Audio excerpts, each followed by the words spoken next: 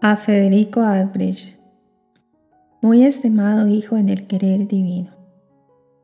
Agradezcamos todo al Señor que con tanta bondad se ha querido servir de esta pequeña y la más pobre de todas las criaturas para manifestar el vivir sublime en el querer divino.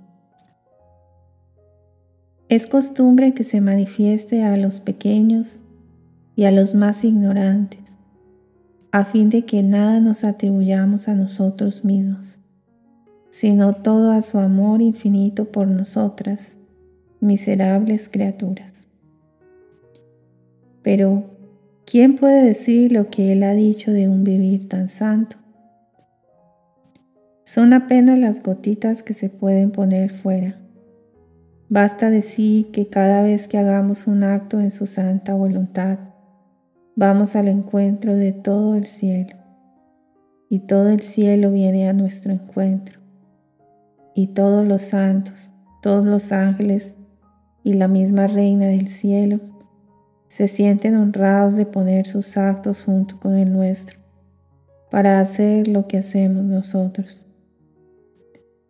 Se sienten duplicar la felicidad y la gloria porque nuestro acto un querer divino es el actor y espectador, y ninguno se quiere quedar aparte, y con derecho, porque la divina voluntad es de todos, menos de quien ingrato no la quiere conocer, amar y poseer.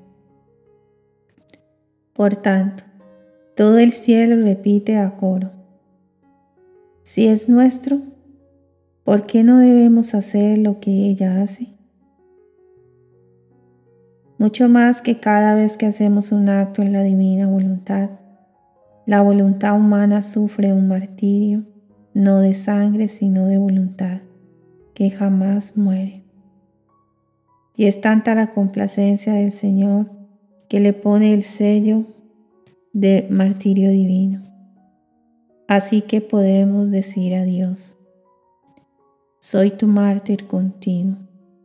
No muero una vez sino tantas veces cuantas veces no hago mi voluntad. Y por ahora basta y pasemos a otra cosa. Muy querido del Señor, nada de nuevo ha habido aquí de aquello que usted dice de Roma, más bien todo lo contrario. Ha habido una tempestad terrible contra los libros y contra mí. Creo que ha sido suscitada por algunos sacerdotes y religiosos de Corato. Que el Señor bendiga y perdone a todos. Se ve que es rabia diabólica, que el solo nombre de voluntad de Dios los roe y se enoja. Por eso oremos. Le agradezco y haga aquello que pueda hacer y que quiere el Señor.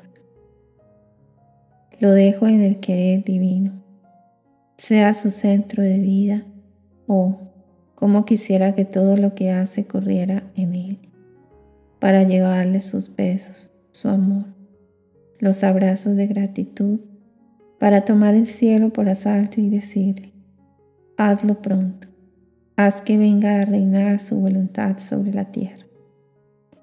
Los saludo con el amor del Fía Divino, junto a Amalia y a Piucho, su afectísima la pequeña hija de la divina voluntad.